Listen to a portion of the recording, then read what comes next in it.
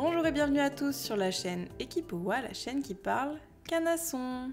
Bon déjà, je pense que ça ait échappé à personne, il fait vraiment 48 millions de degrés et c'est insupportable. On dégouline, on boit, du coup on fait pipi, ensuite on reboit, ensuite on refait... C'est chiant, c'est un enfer, ok on est tous d'accord. Et encore moi ça va, je suis dans un bureau qui est pas climatisé certes, mais bon je pense quand même très fort à ceux qui sont à la mode en ce moment même en train d'enchaîner des parcours d'obstacles ou de canner dans des préfabriqués. Chiant.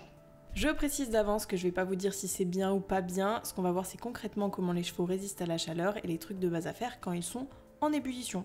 Ce sujet, donc celui de la gestion de la chaleur, parce que c'est vrai que j'ai pas dit le titre, mais bon en même temps je pense que si vous avez cliqué dessus, c'est bien que le sujet vous intéresse et que du coup vous savez de quoi je vais parler, c'est très long. Bref, donc ce sujet m'a été proposé sur Instagram, donc merci Mimi. Et vous aussi, n'hésitez pas à me dire sur YouTube, Instagram, TikTok, euh, où vous voulez, ce que vous aimeriez que je traite dans une prochaine vidéo. Enfin, vidéo, podcast, euh, moi je ne sais plus. Hein. Je suis sur YouTube, euh, Spotify, euh, j'adapte les formats. bref, comprenez ce que vous voulez selon la plateforme où vous êtes. Bref, on passe au vif du sujet. On va commencer par analyser leur résistance à la chaleur comparée à nous, ensuite l'effet que ça peut avoir sur eux, et on terminera sur des petits tips de base à faire en cas de grosse chaleur pour leur confort ou leur survie du coup. Première partie, la résistance à la chaleur. Et on commence direct avec une étude faite sur des chevaux de course. L'enjeu, c'était de connaître les effets de la chaleur pendant une course. Simple, basique, efficace. Pour ça, ils ont pris un échantillon de 260 hommes et 358 chevaux, ce qui est assez massif pour une étude, et leur ont fait faire une course de 30 bornes à l'aise. Le verdict, parce qu'on n'a vraiment pas le time, à chaque degré gagné en température ambiante pendant la course, l'allure des chevaux diminuait de 0,11 km/h. Pour les humains, c'était un petit peu différent puisqu'ils perdaient seulement 0,07 km/h. Ok, donc là on se dit super, ça peut paraître absolument rien, mais c'est quand même 36% de perte de vitesse en moins pour nous. Donc euh, chapeau, bravo nous. D'ailleurs, pendant les jours les plus chauds, le plus rapide des humains allait presque aussi vite que le plus rapide des chevaux. Après, bon, ça va qu'ils m'ont pas pris moi parce que je pense que j'égalais même pas le plus lent, mais bon, c'est des athlètes les petits loulous là. La raison de cette différence, vous vous en doutez, puisque vous connaissez le thème de la vidéo, c'est la gestion de la chaleur. Nous, on est doté d'une clim interne qui s'appelle la transpiration. Après, vous me direz, eux aussi ils transpirent, certes, mais proportionnellement, on transpire beaucoup plus facilement, ce qui nous fait tendre vers nos 37 degrés habituels. Et on appelle ça la thermorégulation. Bon, on va expliquer ça très rapidement. Basiquement, on a une température de base. La faire grimper, c'est de la thermogénèse. La faire descendre, de la thermolyse. Pas plus compliqué que ça. Enfin si, c'est un petit peu plus compliqué que ça, parce qu'il existe quatre manières de faire grimper ou descendre la température. Donc pour ce faire, on peut utiliser la conduction, donc c'est quand on touche un objet plus chaud ou plus froid que nous, la convection, quand on est en contact avec euh, un fluide ou gaz d'une température différente, par exemple quand on va via ce plage l'été, la baignade, tout ça, voilà voilà. Autrement, on peut utiliser la radiation, par exemple quand on va au soleil. Effectivement, il ne nous touche pas et pourtant il peut nous faire cramer, j'en sais quelque chose, et cette manière constitue 60% des échanges de chaleur. Et enfin, le dernier roulement de tambour, c'est l'évaporation, donc bah, la transpiration. Donc maintenant, on arrête de rougner parce que nani nana, ça pue la transpiration et on est content de transpirer parce que d'autres espèces ne le font pas aussi bien que nous. Donc c'est cool, c'est cool globalement, on est un peu supérieur et tout à capter. Mais pourquoi? Pourquoi on est mieux foutu que nos chevaux finalement? Évidemment, on n'est pas supérieur, je rigole, c'est une blague, de l'humour. Concrètement, on n'en sait pas grand chose, mais c'est sûrement grâce à nos ancêtres, les frappés du ciboulot qui couraient derrière les boutins en plein cagnard. Merci les sangs. Bref, c'est cool, on sait maintenant que nos chevaux sont désavantagés, mais avant de passer au risque, on va voir à partir de quel moment il est dangereux de faire bosser son cheval sous la chaleur. Parce que bon, c'est quand même ce qui nous intéresse principalement, je pense.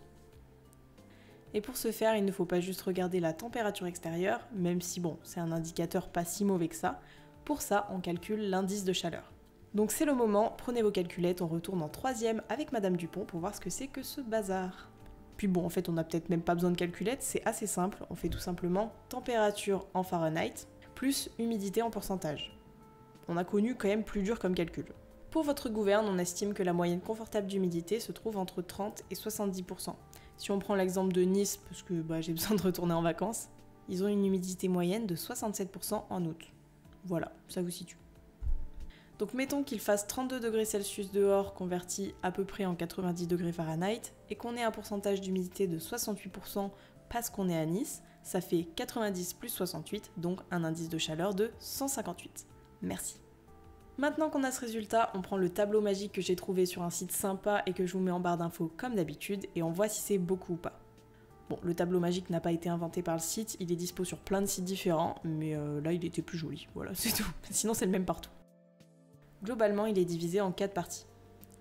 Avec un indice de chaleur en dessous de 120, c'est parfait, la clim interne du cheval fonctionne, euh, go enchaîner les CCE, go go go.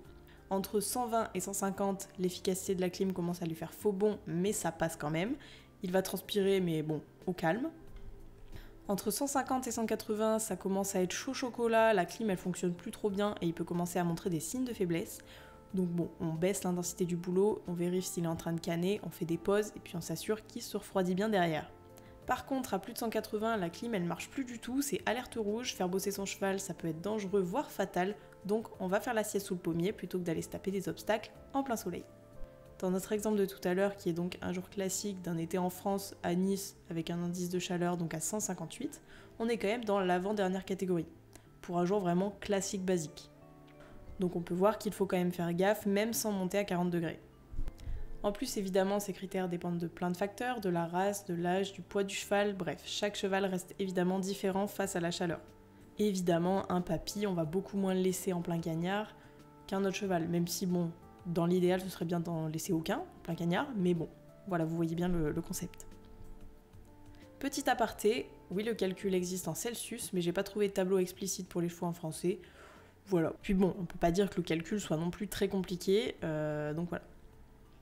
Donc maintenant qu'on a vu que c'était dangereux, on peut passer à la deuxième partie et on va voir ensemble les signes qui montrent que la chaleur les assomme et qu'il serait bien à ce moment-là de réduire un peu la cadence. Donc les signes qui montrent qu'il faut un petit peu baisser le rythme, c'est tout simplement quand il est trempé de qu'il est brûlant, qu'il souffle très fort et très vite, qu'il a des veines très visibles ou alors une température rectale supérieure à 40 degrés. Et il existe encore des signes plus graves qui nécessitent l'intervention du veto. Par exemple, les pertes d'équilibre, quand il souffle encore très fort au repos, des muqueuses sèches qui n'ont pas leur couleur habituelle, ou par exemple quand il est particulièrement agité ou frappe à dingo à ce moment-là, il est pas bien, faut faire quelque chose, bien vu, et justement, on va voir ce qu'on peut faire pour éviter qu'il soit dead. Déjà, première chose, on appelle le veto si vraiment euh, on voit que ça va pas du tout. Hein. On fait pas les fous à tenter des, folies, on appelle le veto. Deuxième chose, euh, on évite de lui foutre un glaçon dans le cul. Euh, vraiment. non mais sérieux, j'ai vraiment lu ça à plusieurs endroits. Désolée, j'aime pas juger, mais là ça va vraiment pas bien. Là ça va plus, ça va pas, c'est pas normal. Bref, je connaissais vraiment pas cette phase sombre de l'équitation, je suis un peu sur le cul et sans glaçon pour le coup. Bref, inutile de vous dire que c'est dangereux et inutile, euh, on oublie cette idée farfelue. De la même façon, on évite les sachets de glace qui sont trop agressifs pour la peau. Voilà. Troisième point et pas des moindres, on le garde hydraté. Un cheval adulte, il a besoin en moyenne d'une trentaine de litres d'eau par jour et ça va jusqu'à doubler voire tripler en cas de grosse chaleur. Et ce même sans exercice, donc on garde les bidons pas loin.